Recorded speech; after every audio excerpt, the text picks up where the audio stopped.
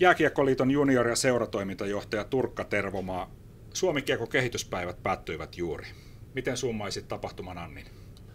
Tapahtuma oli aivan loistava. Meillä oli tuossa vielä varsinkin viimeinen luennoitsija, niin räjäytti pankin ja sai ihmiset hyvälle tuulelle, että meillä oli, meillä oli erittäin hieno päivä tänään.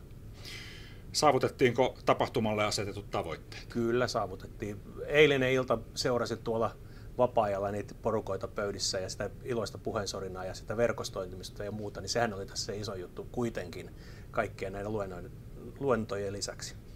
Mikä on tärkein asia, jonka tapahtumaan osallistuneet, osallistuneet toimijat vievät mukanaan Suomikiekon arkeen? Kunnioitus on varmasti se, mitä viedään arkeen. Se tuli tällä reissulla niin selväksi lähes jokaisella luennolla, että mä uskon, että se on se, mikä jää elämään tältä ristelmältä.